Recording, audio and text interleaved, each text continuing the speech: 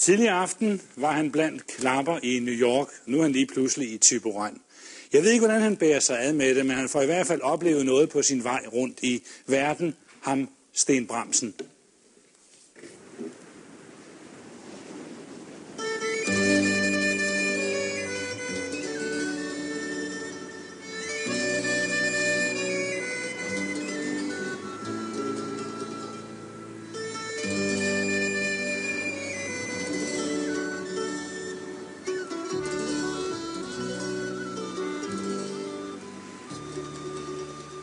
Det eventyrlige kan indfinde sig når som helst, og helt uafhængigt af, hvor i verden man befinder sig.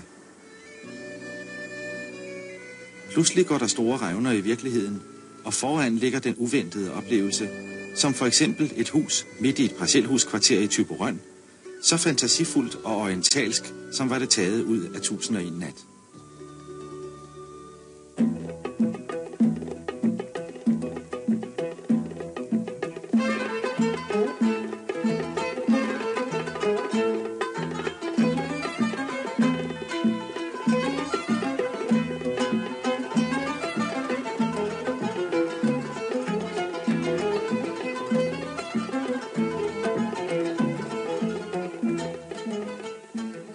Alfred Pedersen havde været fisker hele sit liv, da han som 60-årig solgte sit skiv og gik i land.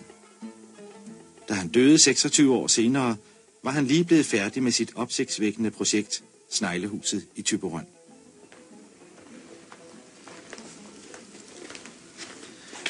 Man kan jo nok sige, at øh, det er almindeligt, at det er kvinderne, der sætter præg på et hus, men, øh, men øh, det her, der er det altså, det var manden i huset. her. Det er det er mand, der bærer fakler, som de sagde. Ja, det var din far, Ja, og han startede ret sent. jeg var 60 år, inden han begyndte med.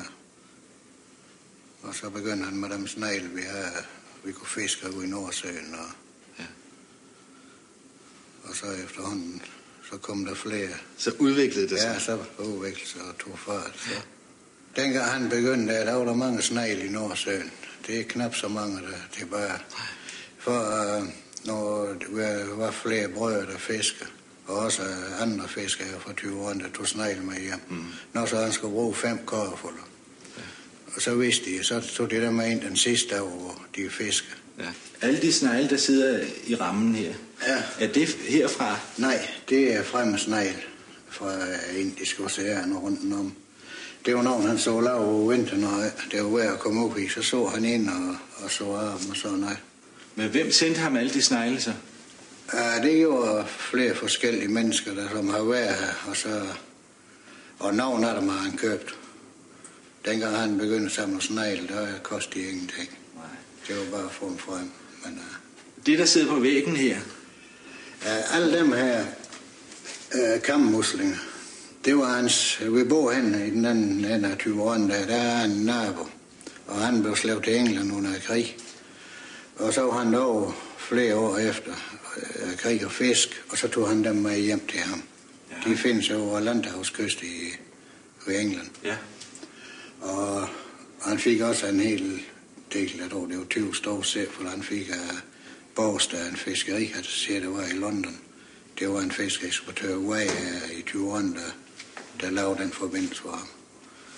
Og dem, der sidder ovenover i næste række der, Den der, Ja. den er fra Nordsøen. Ja. Det er en rød kong. Det var dem, de kunne fange alle dem, vi skulle bruge, og ellers far skulle bruge. og så dem, de her, de er mere Det almindelige. er almindelige hjertemuslinger. Dem kan vi samle op ved strand. Og den der, det er en jomfrøs. Den er også fra Nordsøen. Ja. Men se, når nu han skulle indrette sådan et rum som det her, han må have lavet nogle udregninger om, hvor meget han skulle bruge, og, og hvordan det hele skulle bygges op. Ja, det har han i H, Han har ingen tegning eller nogen ting. Han begyndte bare så. Når ikke han begyndte at arbejde, så lavede han dem der først. Dem målte han jo som det passede mig. Så lavede han de rundt først, og så, når så de var færdige, så følte han op imellem. Og, og det skulle jo laves alt sammen, mens der cement det var ude. Ja. Lidt er i gang, så det blev tør for ham.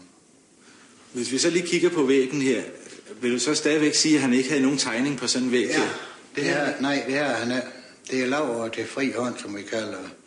Han har aldrig lavet tegninger over nogen ting. Den viden, du har om, om sneglene, hvor har du så den fra? Ja, den har jeg hjemme fra, fra igennem far og sådan, og så har jeg nogle bøger, jeg kan læse lidt i. Det var det meget vanskeligt her i Danmark at få bøger om snegl. Det var sådan nogle små håndbøger, men over for en to-tre år siden, der udkom der en stor igen. Den har også. Så fortæller du turisterne om det om sommeren også. Ja, lidt. Øh, så når de spørger om nogle ting og sådan. Det er jo sådan, en, øh, så skrabt at de fortæller. Hvordan går det med sprog? Det går godt nok. De fleste, de kan jeg forstå også. Ellers laver vi lidt om, hvad Sneglehuset besøges hvert år af mellem 20 og 30.000 mennesker i sommersæsonen, men man er velkommen hele året igennem, når man banker på i dagtimerne. Det er godt, folk kommer her, siger Knud Petersen.